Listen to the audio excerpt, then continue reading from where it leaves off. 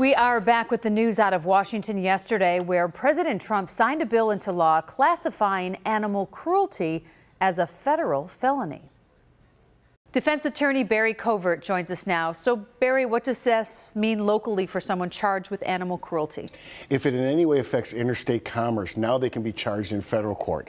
So, if the animals were purchased in interstate commerce, if they've moved in interstate commerce, if that individual was doing it in multiple states, now they can be facing felony charges in federal court and up to seven years of incarceration.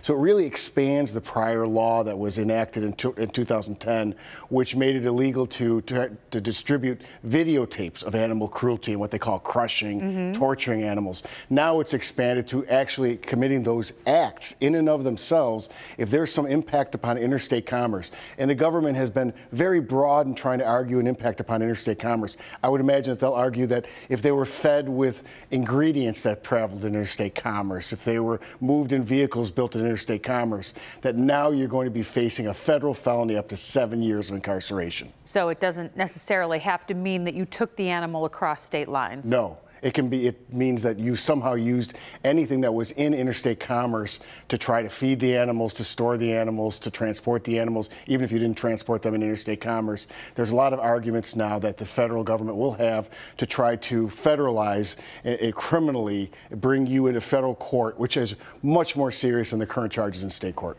Now, if someone was uh, arrested and charged before the law changed, how does that impact them? then they wouldn't be uh, permitted to be charged under this. That's ex post facto, so, so they could not bring that under these charges now, under these cases.